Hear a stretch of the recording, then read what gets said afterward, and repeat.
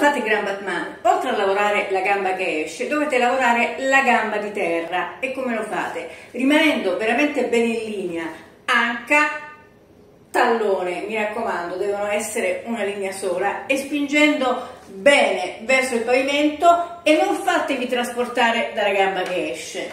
Se io sono qua, vado e, ya, pa, e, ta, e, ya, pa, e, ta questa gamba, non faccio questo, ora vi sto esagerando, questo che poi casco.